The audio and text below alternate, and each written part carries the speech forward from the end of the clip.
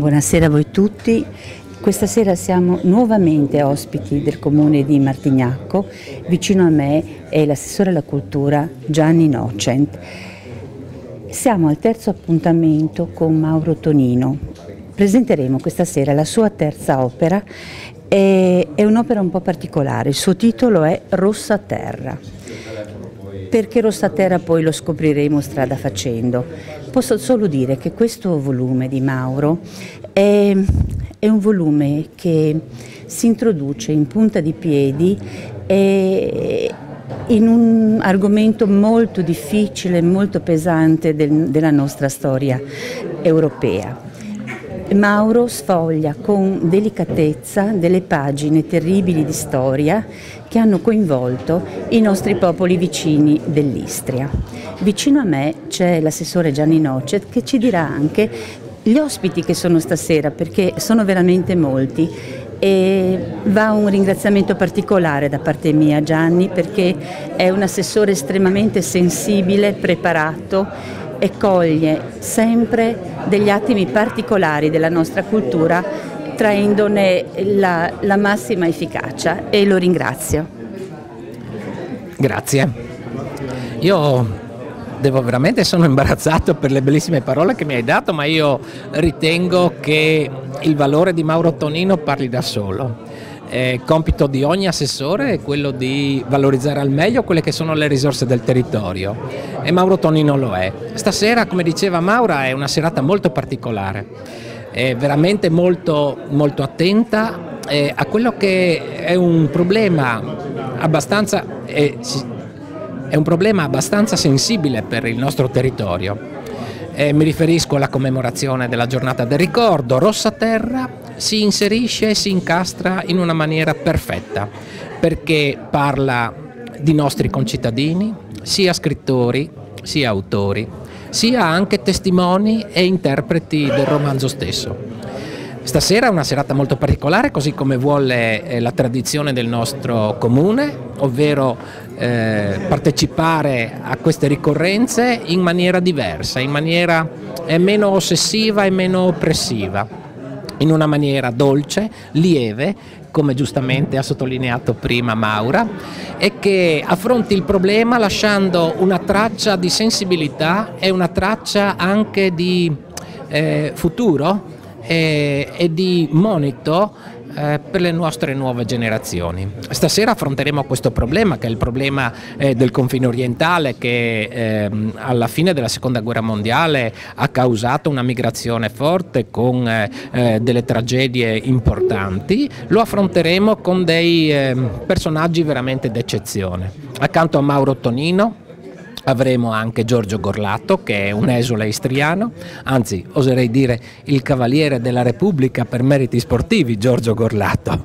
scusate se è poco. Poi avremo anche eh, Beppe Liani, direi tre, avremo anche eh, Antonio Rinaldi, caporedattore del Messaggero Veneto, e avremo anche un momento artistico, cioè avremo anche l'autrice, la pittrice di queste tavole che arricchiscono questo volume assai bello, assai significativo anche per la nostra comunità e che lasci un messaggio positivo e propositivo alle nuove generazioni.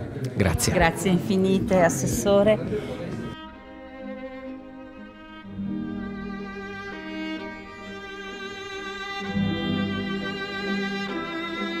Come ha già annunciato anche l'assessore Nocen, vediamo dietro di noi e poi in maniera più dettagliata della, delle tavole stupende disegnate da Marina Toffolo che ha colto lo spirito e, l'anima di questo libro e l'ha l'ha tradotto, l'ha tradotto con un tratto molto leggero di, di matita o di china e vicino a me invece c'è Mauro e Mauro sintetizzerà veramente in due parole quello che è il contenuto del libro. Io ringrazio Mauro e lo sentiamo. Grazie all'editore che ha creduto in questo progetto editoriale che ci ha permesso di fare questo splendido libro. Dico splendido perché già i primi commenti sono, a parte di alcuni commoventi, ma sicuramente molto positivi. Il libro è un romanzo storico, è una storia, non è un libro di storia, nel senso che narra attraverso un percorso libero narrativo che è un viaggio in barcavela di nonno e nipote lungo le coste dell'Istria, narra delle vicende che sono molto drammatiche, per certi aspetti nascoste e oscure di quello che è stato l'esodo eh, giuliano. E quindi tutto il narrato passa attraverso il rapporto fra nonno e nipote, dove il nipote incalza il nonno nel raccontare quello che è stato il suo vissuto drammatico. Una storia che a mio avviso meritava di essere raccontata perché eh, tratta tutto quello che è stato il periodo dall'8 settembre del 43 fino ai primi anni 50 in Istria. Grazie Mauro e quindi ci accingiamo ad ascoltare il tuo racconto e i nostri ospiti. Grazie infinite.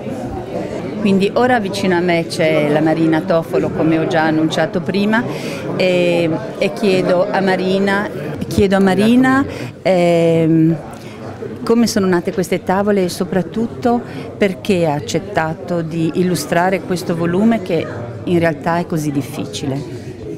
Il libro eh, tratta di un argomento veramente molto difficile, molto impegnativo però eh, nasce dal, dall'impegno doveroso di testimoniare la storia, eh, una particolare storia della nostra umanità che purtroppo si ripete, eh, quindi l'impegno che mi sono presa è, con, è cercare di contribuire a quello che è la testimonianza di accadimenti che eh, dovrebbero insegnarci a, ad essere più accorti non, eh, e non ripetere.